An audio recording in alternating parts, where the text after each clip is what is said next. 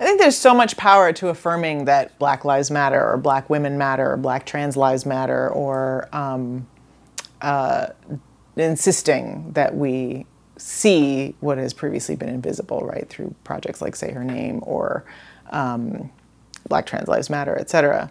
I think the challenge is then to move beyond visibility to how does this change the conversation, right? And so, how, as we're looking at Jeff Sessions re declaring a re ramping up of the war on drugs, then how does that change the way we think about that? Are we now automatically centering, you know, it's not just saying Frankie Perkins' name as a black woman who was choked to death by police who thought she had swallowed drugs when she hadn't.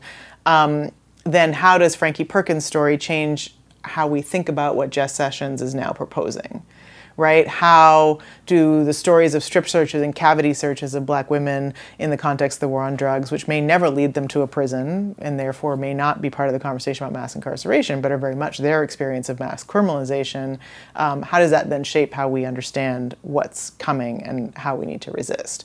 Same for, you know, what do we learn from how um, Arab, Muslim, South Asian, and Middle Eastern women experienced the war on terror in, you know, right after 9-11? How does that shape uh, our resistance to the Muslim ban and our understanding of how that process of enforcement is going to be highly gendered and what the ge highly gendered repercussions are going to be in the rest of society beyond borders.